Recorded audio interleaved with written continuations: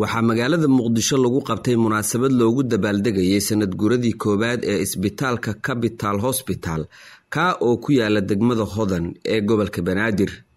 Munaasabadda waxaa ka soo qeyb galay mas'uuliyiin ka tirsan dowladda federaalk soomaaliya dowlad goboleedyada maamulka gobolka banaadir dhallinyaro fanaaniin agaasimayaal iyo dhakhaatiirta ka howlgasha magaalada muqdisho munaasabadda ayaa lagu soo bandhigay waxqabadka isbitaalka ee muddadii sanadka ahayd iyo sida uu dhinaca caafimaadka uga caawiyey bulshada ku nool magaalada caasimadda ee muqdisho.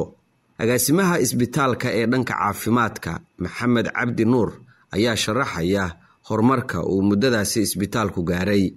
Sanad stal capital hosbital stal capital hosbital wuxuu furan yahay hal sano laakiin halkaas sano waxay u dhigan tahay isbitaal furan boqol sano. Taasna waxaa ka dareemaysaa xafladdan weyn la qabtay bulshada shaqooyinka loo qabtay. Mar kale waxaan indhahaa soo dhowaada soo dhowaada mar labaad mar saddexaad soo dhowaada xafladdeen waa noo furan tahay. Dhakhaatiirta ka howlgasha magaalada muqdisho madaxda caafimaadka fanaaniin iyo dadka caanka ah ayaa ka hadlay waxqabadka isbitaalka capital iyo sida uu ugu adeegay bulshadiisa muddadii sanadka ahayd ee uu jiray. Isbitaalka capital hosbital ma ahan isbitaal uu ku jirta oo keliya iyo internal medicinka waa isbitaal leh qeybaha kala duwan ee xarumaha caafimaadka loogu talagalay. Intaas markaan ka gudbo waxaan rabaa inaan ka dhawaajiyo. Caawa arrin muhiim u ah qof kastoo dhallinyaraha ee rabo inuu wax qabsado dadkiisana wax u qabto waxaa loo baahan yahay waxay tahay wixii uu dayaxdal nuursha noo sheegay oo ah qofka in uusan lacag fiirin. Wuxuuna ilaahay og yahay haddii af in laga sheegay ee tahay iyo hadday daacad tahaw waxaan ogahay saaxiibkay doctor afrax hadafka uu ku shaqeeyay inaysan ahayn inuu lacag keliya raadiyo.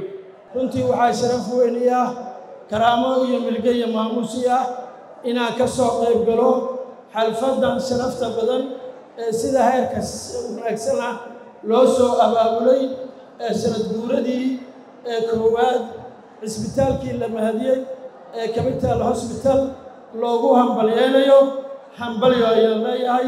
Waxaan rabaa marka hore inaan u hambaliyo isbitaalka capital oo sanad jirsaday agaasimo afraxaan rabaa doctor afrax inaan ugu hambaliyo hogaamintiisa wanaagsan iyo tiimkiisa sida ay mataqaanaa isbitaalka u soo gaarsiiyeen heerkan waxayna sanad guuradan muujinaysaa yacni in wax badan ay soo barteen khibrad badan ay market ku soo heleen bulshada ilaa qeybaha hoose ay u adeegeen.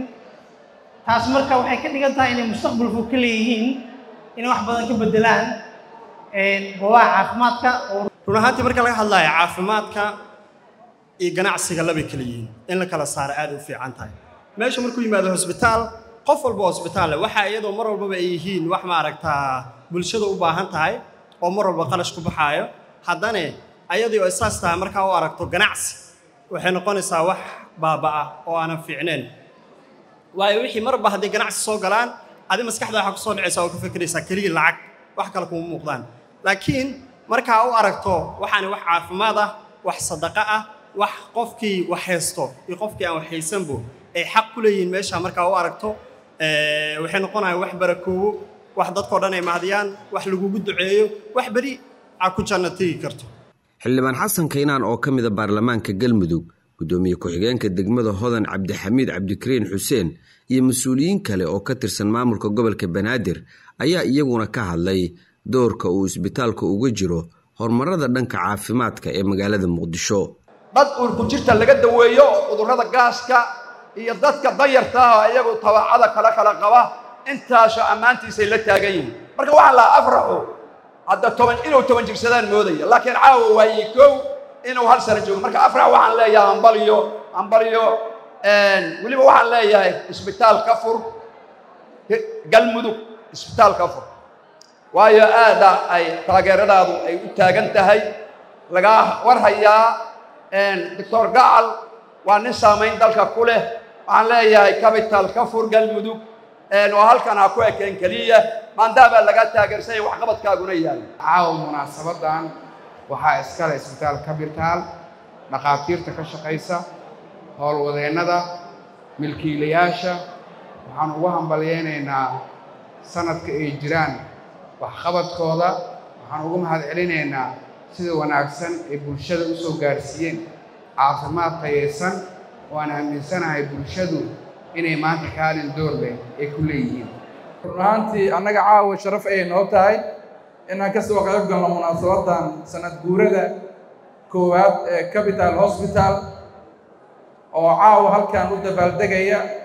Waan arki karnaa waadna garan kartaan qiimaha iyo muxuu horumarka uu sameeyey capital hosbital maxaa yeelay waxaan arkaynaa isbitaallo badan oo soo jiray sanado oo wacdaraha caawa halkii aan ku dhigay aan dhigi karin.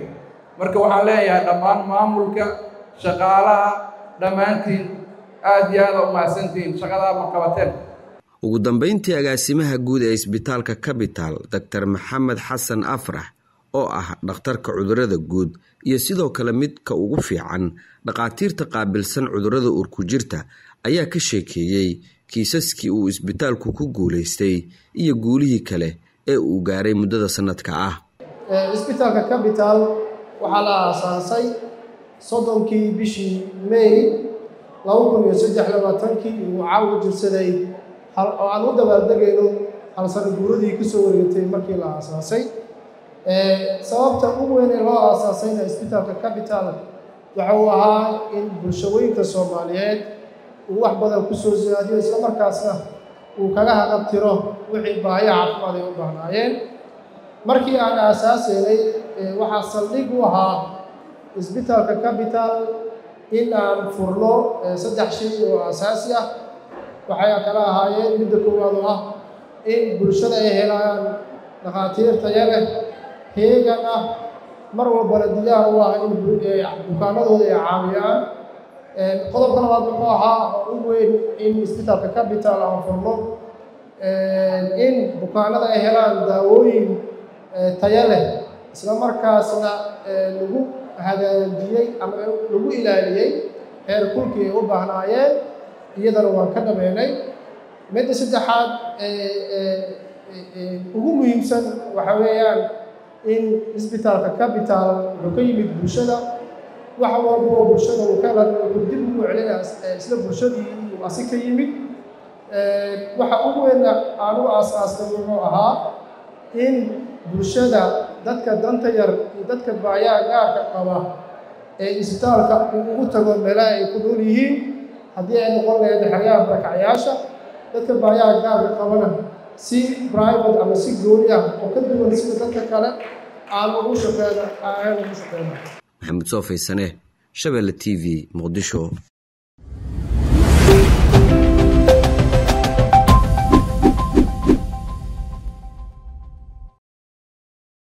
shirkadda beeko waa shirkadda ugu weyn ee bixisa adeega korontada soomaaliya. Beeko waxa ay koronto siisaa koonfurta soomaaliya sida banaadir jubbaland hirshabeelle iyo koonfur galbeed. Beeko waxa ay siisaa adeeg koronto oo dhammaystiran dhammaan toddobiiyo tobanka degme ee gobolka banaadir iyo goobaha ugu waaweyn magaalada muqdisho sida airboorka aadan cadde dekedda muqdisho iyo dhammaan safaaradaha iyo hay'adaha caalamiga ah